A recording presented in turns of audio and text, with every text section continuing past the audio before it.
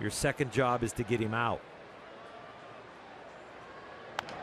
Renfroe hits it in the ground to third. Might have gotten away with one. He's over the plate. Turner throws him out. And Romo with a scoreless inning in his Dodger debut.